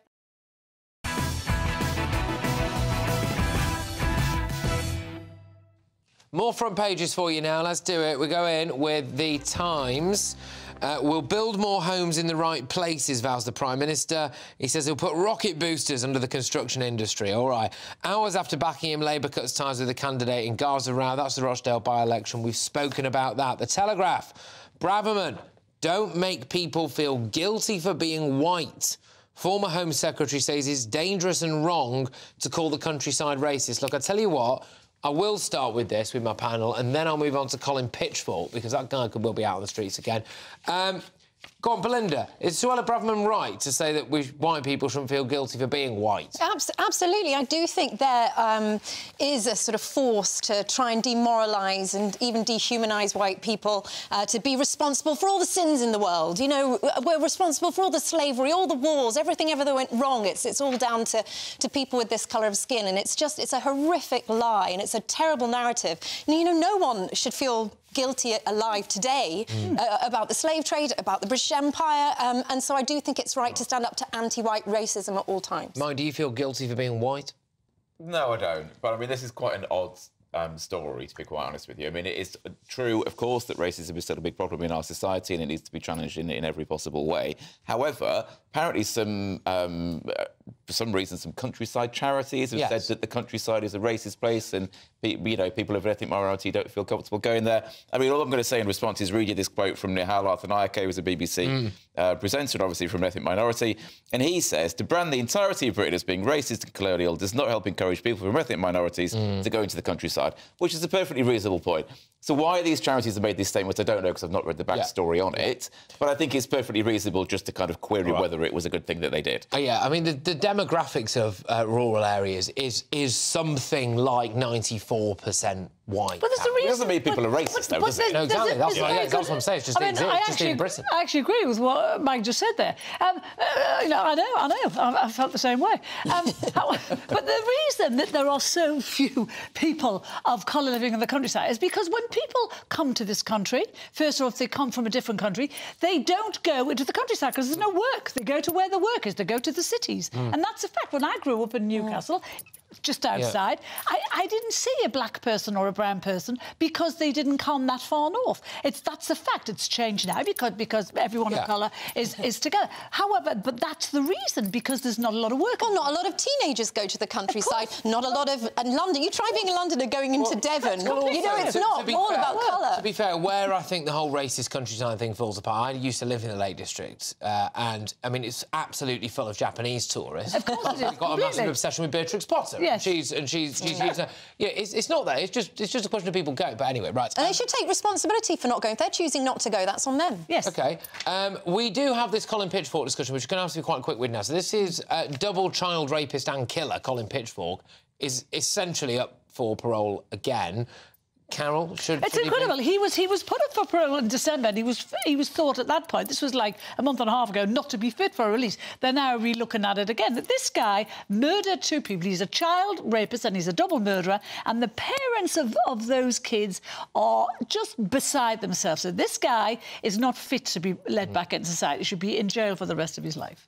I mean, he was let out, Mike, and then recalled uh, from memory because he. Um, got too close to some other kids. Hmm. He started chasing girls or women yeah. again. So, I mean, obviously they took him back in. I mean, it, it, seems that this is almost, I mean, I can't imagine that they're going to let him out again. Surely not. This is just them following procedure. So apparently there's a testimony that they should have taken into account at the last hearing and they didn't, which means they have to go back and do it again. But it is almost, I, mean, I cannot conceive of them letting out given what happened last time. Very quickly. Child rapists, child murderers should be in a Put a hole in the ground with a bread roll thrown at them maybe once a day if they're lucky, uh, maybe a glass of water every two weeks. All Let's see how they do. Listening to the screams of their victims 24 7. Forget jail, put them in a hole. What's the former Justice Secretary there, Belinda Lucy, uh, giving it large? All right, OK. Um, look, now, it seems like it's just uh, the beaches of Kent that illegal migrants are choosing to make their way into Britain on, but it's not, because school kids in Southampton were left stunned when discovering two suspected illegal migrants hiding under bags in the luggage compartment of their coach after returning from a school trip to France. So they opened the door. Oh, there he is. Uh, one of the men inside declared, excusez-moi, before trying to run off, but was stopped by parents waiting to pick their children up. Uh, and one child's luggage was left covered in urine as well. So there we go. It's a nice little present for everybody. So uh, anyway, uh, the Home Office is not telling us where these are now, though, these chaps. But right, it's time now to reveal today's greatest Britain and Union jackass. Greatest Britain, Carole. Mine is Defence Secretary Grant Shapps, which is amazing because I don't like him much, but he's pledging to end the poisonous, woke and extremist culture that has taken over our military. He's talking about, you know, we need a fighting force. We do, it doesn't matter what colour anyone mm. is. It doesn't matter about ethnicity, what gender. You just need the best people for the job, and he's quite right. He's quite right, but, you know, we've had 14 years. Anyway, go on, Mark. What? On. what? They've had 14 years to not let this happen, and it's oh, happened. I'm sorry, the woke thing has only just oh. jumped up, all the diversity of us. And the other thing they did as well was they said for uh, Remembrance Sunday, we have to make it less Yeah. Christian. Nonsense. All right, go on, Mike. Greatest Britain, please. So mine is a chap called Professor Jan Fen Feng. I hope he's pr- pronouncing his uh, name correctly. He's from Warwick University. He is developing a test, an early blood test to uh, detect dementia, which could help save lives and help prevent disease. So this is a good thing. Very, it's, it's a very nice thing. OK, go on, Belinda. Uh, my greatest Brit is uh, British actor uh, Ralph Fiennes uh, for speaking publicly against trigger warnings for theatre productions. And, and this is amazing because actors who speak out against wokery and snowflakery are as rare as hen's teeth. So well done for him. He said audiences should be shocked and should be disturbed. That's the whole point of a many, many a play. We've got a clip. I think the impact of theatre should be that you're shocked and you should be disturbed. I don't think you should be prepared for these things. And, uh, and when I was young, I never, we never had trigger warnings in, for shows. I So would you get rid of them then? I, I would, yes, I would. Well, hey, very strong contenders today. Grant Shapps is today's greatest Britain uh, for trying to basically put national security over diversity. Um, right, we've just about got time for Union Jackass, Carole. Bank of England, eight years after the referendum results, still asking on, a, on a monthly questionnaire what business if they're having problems with the referendum. Not asking about Ukraine or COVID or anything else, but that. But also, uh, I've been saying for myself, the Governor of Bank of England, Andrew Bailey, if he wants to, he should be sacked. If he really wants to know why businesses are damaged, how about soaring inflation and soaring interest rates? That's probably The. Bank of England has a, uh, genuinely has a heck of a lot to answer for, actually. Yeah, they Um, really do. Mike, who's your Union Jackass? I mean, well, we'll not talk about that issue. So mine is the British Horse Racing Authority, um, because Michelle Mone in the House of Lords famously owes us, owes the country 122 million for selling dodgy PPE. They're going to let her race her horse in the Grand National anyway, and she might win and get loads more cash. Uh, yeah, all right. Oh, what? I mean, what's, it's not the horse's fault, Mike. To be it's the. British Horse Racing Authority's All right. fault. All right, Yeah, it's okay. not the horse. I'm nothing Not- against the I'll blame the horse. Um, OK, go on, Belinda, Union Okay. Jackass. Uh, yeah, my jackass is a comedian called Paul Currie, who apparently after his show um, brought a Palestinian flag onto the stage and got the audience to stand up. And when um, a group of men didn't stand up, he asked why, Yeah. and uh, they were Jewish. And they got he then Paul encouraged the whole of the theatre to chant "Get the f out" to these Jewish Shocking, men. shocking, it's this is shocking. Look, today's Union Jackass is the Bank of England. It's a double bumper for Carole. Thank you very much. Oh, no, it's not. It's this guy, Paul Currie. There we go. I was going to say, I would have All shared right, all it right, with all right. her. Thank 'cause you, thank you, thank you. idea. I'm off. I'll see you tomorrow at nine. Wonderful people. A brighter outlook with BOXT Solar, sponsors of weather on GB News. Hello, very good evening to you. Alex Burkill here again with your latest GB News weather forecast. It will be a bit chilly for some of us tonight with some showery rain around, but it's tomorrow.